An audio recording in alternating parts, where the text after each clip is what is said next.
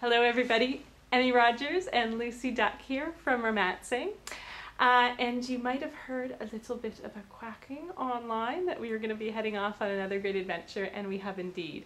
Uh, we have both arrived today here in um, Egypt, um, and we're here also with Erica Hargreave, who's off doing, you know, all the sorts of businessy things that she thinks are important, while Lucy and I are doing what we know is important, which is, you know, being fabulous and all. Uh, and we're also here with um, Daniel Noll and Audrey Scott from Un- Uncornered Market because we're going to be doing a digital storytelling demonstration this week, and we're going to be doing it for the UNTWO conference on uh, tourism and media, and specifically partnering with media in challenging times. And so we're going to show them how we can do some real time digital travel storytelling and uh, quite excited because I've never been to Egypt before, so this is this is my first time.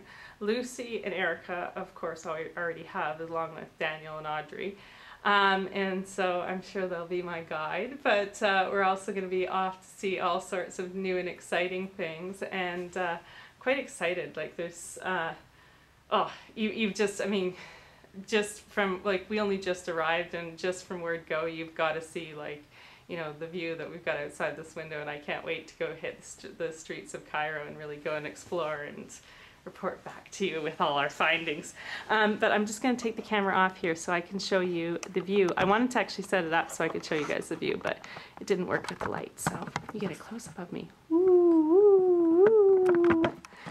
Now, if this will come off so you can stop having close-up of me, oh good. So, we'll turn this around so I can actually see what I'm filming. And if you look there, that is the view from our bedroom window. And this is the Nile River. Pretty frigging awesome.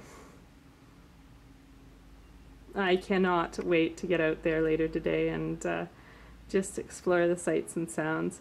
I was planning on having a nap because we have had like no sleep in three days, but uh, I'm really not terribly sure that I can nap now that I'm here. I'm so excited. So I will, uh, and I'm hungry too, and breakfast is in a few minutes, but uh, yeah, I'll give you a tour of the rest of the room. My other window. Going to be enjoying lots of the Nile. And if we turn around, um, I don't think I've ever slept in a more fabulous bed. Um, I'm at, just so you guys know, um, and you can see it from, if we turn the camera around again. Um, you can see it from my bathrobe here. I am at the Fairmont, um, at the Fairmont Cairo Nile City. So, our lovely room, and now this is the piece de resistance. If you look through there, that's actually a tub in there. I have an inkling that we might have another edition for our world's best tubs. Um, so, and I also think that Lucy Duck and I might have to uh, shoot a video as only we can do from the tub later. But on that note, my darlings, I think it's time for me to A, go have breakfast and possibly put some clothes on. Woo! Oh, that's a big close up. And possibly put some clothes on before I go for breakfast. Uh, but B, actually start hitting the, the, the, the, streets and the sights and the sounds so I can, I can uh, introduce you all to a bit of Cairo.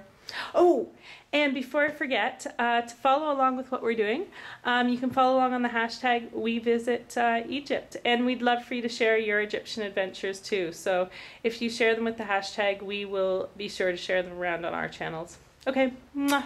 bye, love you. Oh, and a quack, quack, quack. Mwah.